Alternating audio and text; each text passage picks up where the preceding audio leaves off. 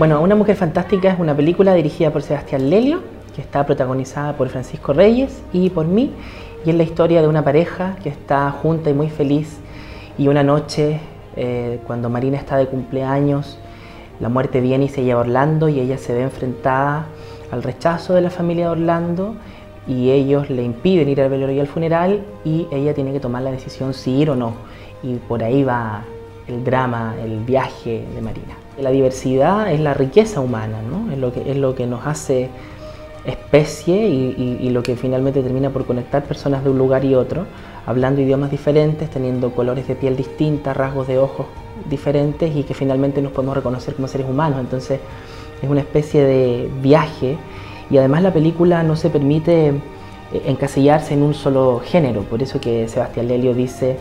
que es una película transgénero yo estoy muy de acuerdo, porque pasa por el drama, pasa por la comedia, por el thriller, por el policial, por el musical, ¿no?